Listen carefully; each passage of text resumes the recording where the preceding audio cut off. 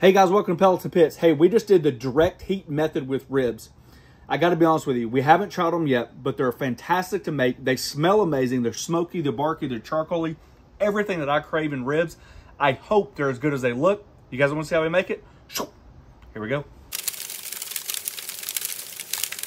All right, before we get started messing with that charcoal and getting the grill ready for those hot and fast ribs, we're gonna make a mop sauce. Uh, we did it on our whole hog. It came out fantastic, so I'm gonna mirror those flavors today. Butter. Just sweat those onions down and melt that butter. We've got four heads of garlic.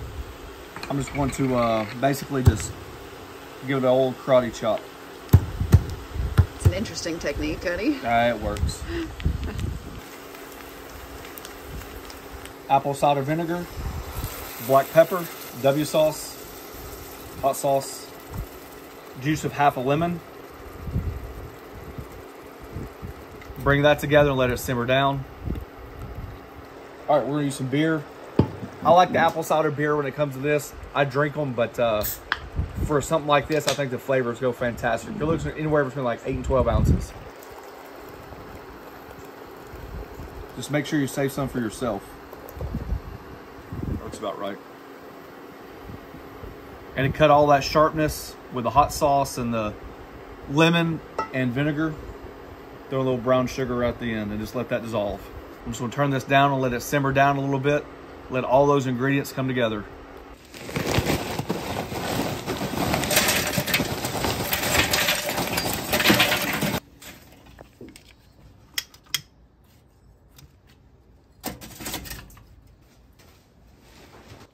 While our Weber's heating up, we have two racks of ribs. Trying to get them as close together as possible. 1103, 1025 look good to me. So we're gonna take these out, give them a once over, see if we need to trim anything off, and then we're gonna season them with our Texas rub. Just gonna come back here just one time, just give these a score. It's gonna actually protect your ribs. Plus, I like to leave them on anyways. Even if I'm not doing direct heat, I just score them like that, good to go. I think the direct heat uh, will probably cook the membrane hard enough where it, you'll be able to go through it, no problems. These are nice and trimmed up. So just score it just like that.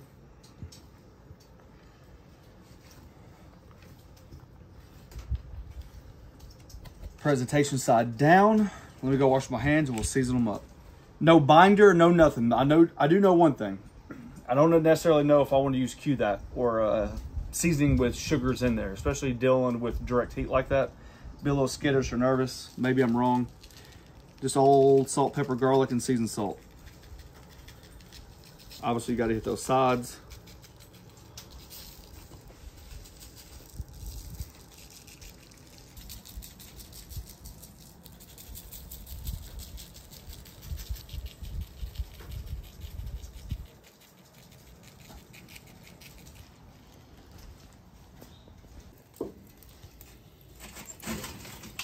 Coals are looking good.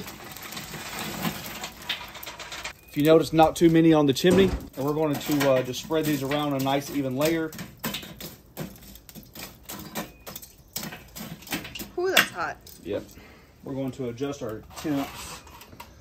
About halfway, close that off. We're looking at about 300 to 325. Okay, the biggest thing I can tell you is when it comes to something like this, especially direct heat, is you don't have to fill your chimney up all the way with coals because obviously the more coals you have, the hotter it is. And really the reason why I picked this grill today was because the ability to adjust the temp. So we're gonna close the lid. Um, I'm gonna give it a good go. We're gonna come up to about maybe with that much coal, let's come up to about three, about 250. Once it gets up to 250, I'm gonna start closing my dampers down. I wanna hone on about 300. Closing that lid obviously helps the uh, coals from catching on fire. So when you're dealing with direct heat, that's important. Probably one of the best things I could do on the Weber uh, Summit. I've been asked many, many, many times, many times, and I kept putting it off and putting it off because we deal so much with pellet smokers. But since we got into the Weber Kettle 22 inch uh, series and we started to bring this out more, I thought it'd be a perfect time. So thank you for pushing me for doing this. I've been wanting to do it for a long time. I think it's going to out fantastic. You guys love, no, you, guys, da, da, da, you guys know I love my charcoal. See, look, we're already at 250. It doesn't take long. Wow, that was fast. So we're gonna close our dampers down. let's get it stabilized about 300 and then we'll put those ribs on. I want this to come off unboastful. to me, it's lucky. Like I already know my grill very well, so I kind of had an idea of what um, gas and brake to put on. But to be pegged at 300 with that much coal in there, I felt pretty pretty happy about that. That's not cocky. That's just being uh, truthful. So um, we stabilized at that. It's been about 15 minutes, and I couldn't be happier. I got lucky, really. So we're to raise the grate up. I'm to move this off to the side. I'm going to sprinkle some wood chips around it.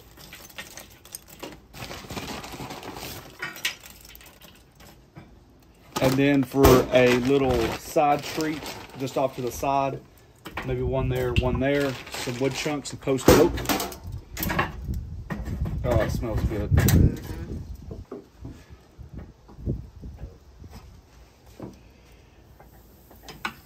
So now we're just going to keep an eye on it, keep turning it, uh, whatever needs to happen. I've never done these before actually. So uh, I'm going to keep very close eye on my temps, uh, flip them back and forth, and really just working the charcoal grills. All right, I was able to bump the temp up a little bit, which is what I was looking for. I don't know if it's too early to uh, flip. Like I said, I've never done this before, but we can learn together.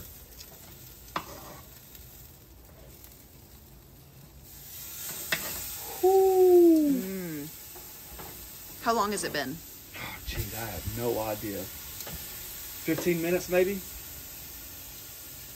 I'm gonna keep that lid closed. The longer you keep this lid open, the more oxygen in there, the more your uh, coals are gonna catch fire. So we're gonna keep that temp down. So I have been adjusting my dampers. When I first put the ribs on, the temperature stabilized about 250, which I thought was kind of odd. Um, so I opened the dampers, let it climb up to about 300, which got me above the 300, about 325. I was able to close the dampers. My target is about 300. If it goes up or minus, I don't care, but I've just been adjusting as I go, as I need. Gas, brake, you name it. We finally fought it, got it dialed in about 300. Whew, looking good. I'm gonna go ahead and just uh, use that mop sauce that we had. Get this side first. I'm gonna flip it over and then do the other side.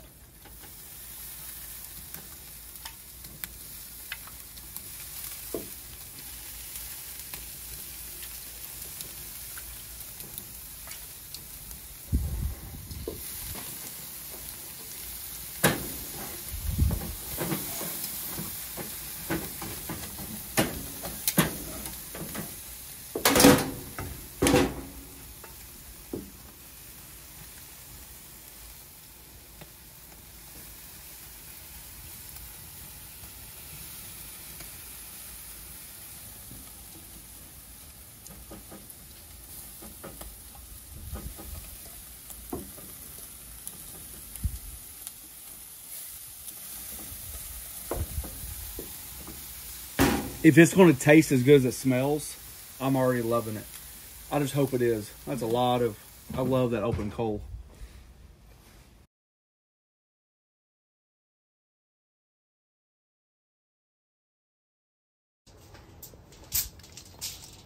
Oh yeah. Oh yeah. Woo! I am happy. So we're averaging anywhere between 196 and 200. Um, I will have to check my phone to see what the temps are. I've got just a little bit of sauce left over. Um, I've been brushing it constantly, uh, just flipping, checking my fires, add a little bit more wood, add a little bit more coal, put a little bit more of that mop sauce right there because we're going to wrap these up while they cool down. Dang, that looks good. I'm literally, I've never tasted them. And if they taste as do good they as they feel? smell, Do they feel tender? Because that would be my concern. you know, I think it's a different tenderness. I think it, I don't know. We're going to wait and see.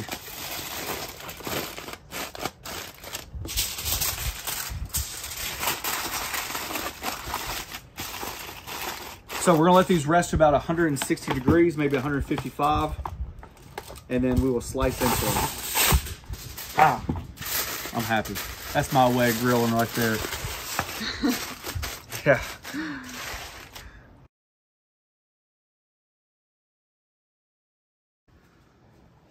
Alrighty, roughly two and a half hours later, I could not be more happy. I have absolutely no idea how old they're going to taste, but I can tell you right now, they were fantastic to cook. I mean, I haven't enjoyed cooking something like this in a long time. Maybe because I've never done them. Maybe because I thought that it was going effortlessly. Like I didn't really have any problems. The grill definitely hovered around 300, sometimes 325, sometimes 280. Um, the color looks fantastic. The smell is amazing. So we're going to dive into them. Hmm. I'm glad I didn't add a sauce. Maybe when you wrap them, like I'm, I'm talking about like the last two to three seconds, minutes, maybe you could sauce them. Um, you could definitely put like a, um, a simple syrup over top if you like that sweetness. I want to keep it natural as possible. I just can't emphasize. I hope this is as good as it looks. smells amazing. You also had that mop sauce you were using. That's true. Golly, they cut easy.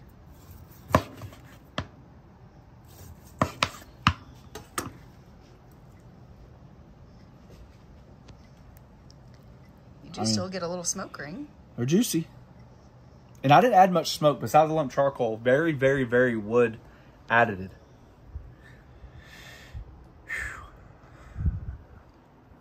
Mmm.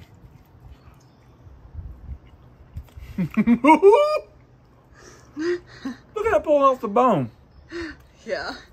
That's how I like my ribs. Let me see. Mmm. Mmm. Mmm.